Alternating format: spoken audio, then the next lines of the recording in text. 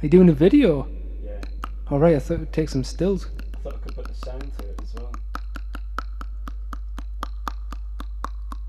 Just a way of offering a, a little glimpse into how we operate as GB Steam That's true. We've been operating like this for quite some time now. I'm gonna leave it there before I do my teeth in. Still Very dramatic. It's filming now. Do you want to be filmed doing something?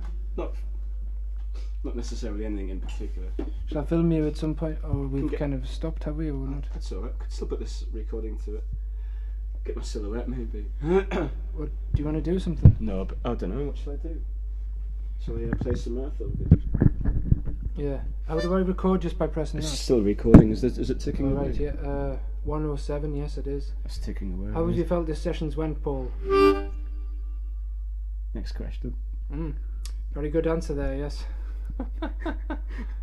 that's almost as good as, um, yeah, that's not really a question, is it?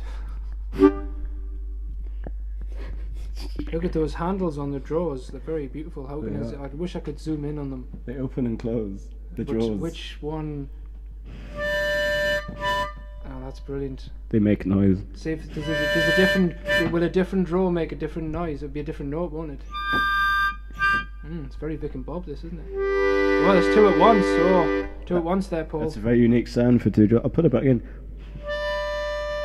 What about the top one? Is that a really high one or is it a low one? Do you know? Well, is it top one's a low That's one? a surprise, isn't It it? is, isn't it? Yes. I think. I-